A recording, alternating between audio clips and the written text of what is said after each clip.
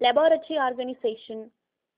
Laboratory organization includes planning the architecture of the lab, laboratory safety, and maintenance of chemicals and instruments in the laboratory. Planning the architecture of the lab.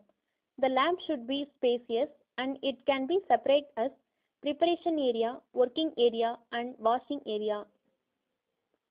In the preparation area, the chemical solutions, stacking gels, and microbial cultures are prepared for the experiments.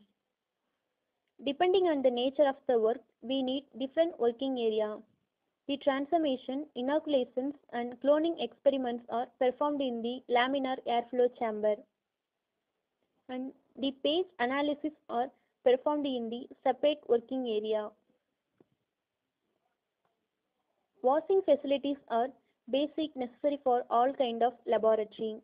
The lab should contain the cupboards and lockers to maintain the important files and records and to arrange the chemicals in proper way for easy identification.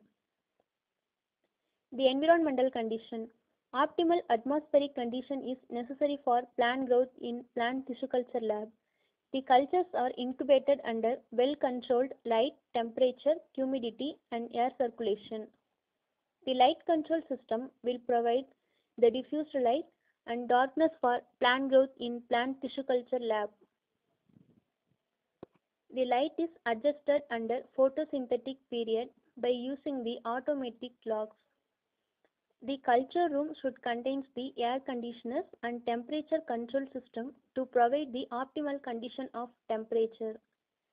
Generally, temperature is maintained at 25 plus or minus 2 degrees Celsius and 20 to 98 percentage of relative humidity with uniform air ventilation. Laboratory safety.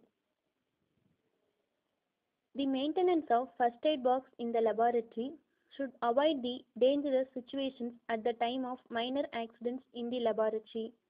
All workers in the lab should know the location of first aid box and know how to use its contents. The lab should maintain the bucket of sand and sack and fire extinguishers to prevent the dangerous fire accidents. The lab coat and hand gloves are mandatory for the lab whenever working with the carcinogenic chemicals and neurotoxic chemicals. Wear the latex gloves. The hazardous chemicals and dangerous solvents are handled only in the fume hood. The organic solvents, mutagenic compounds, mercury compounds, and halogens are located in separate place to prevent the cross reactions between them. Maintenance of the laboratory. The lab should maintain the user's entry register with proper information about the user.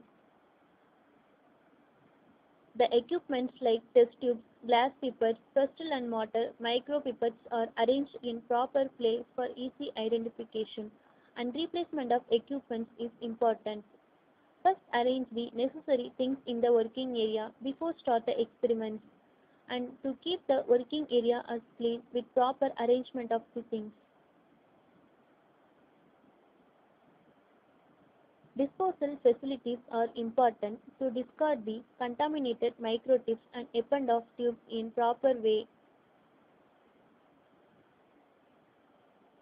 Maintenance of the chemicals. The chemicals and solutions are arranged in alphabetical order for easy identification. After the usage of chemicals, proper replacement is important. After the preparation of chemicals, labeling is important, which include name of the chemical, name of the worker, preparation date, expiry date, and concentration of the chemicals. The isolated DNA, RNA, protein, and enzyme samples are stored in freezer at 4 degrees Celsius. And the photosensitive chemicals and leaf samples are stored in the refrigerators. Maintenance of the instruments in the laboratory.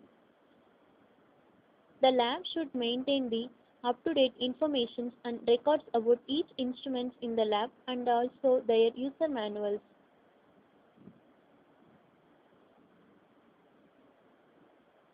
After the usage of instruments, cleaning is important. First, switch off the instruments and then clean the instruments in proper way. Handle the instruments with care.